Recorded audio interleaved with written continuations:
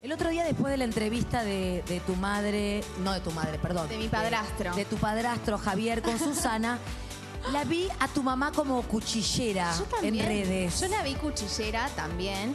Y te voy a decir una cosa. Sí. Mi hermana Barbie Coppola y yo Sí. somos la que, las que bajan a tierra a mamá, ¿viste? Ok. De repente mamá eh, sube cosas a las redes, escribe cosas y nosotras somos las que le decimos, mami, borra eso Claro, porque ya, es como, no te Ya. digo primera dama, pero segunda dama es, ¿o no? Entonces nosotras medio que cumplimos con ese rol de decirle, mamá, por favor. Y el otro día, Sí. de casualidad, Sí. después de la nota con Susana, yo le escribo, veo que sube una historia y a los cuatro minutos lo veo. No voy a decir qué puso, porque para esto le hablé, le dije, lo borrás ya. Y por lo general ella no me quiere dar mucha bola. Es como que me dice, eh, métete en tus cosas, Claro. así soy yo.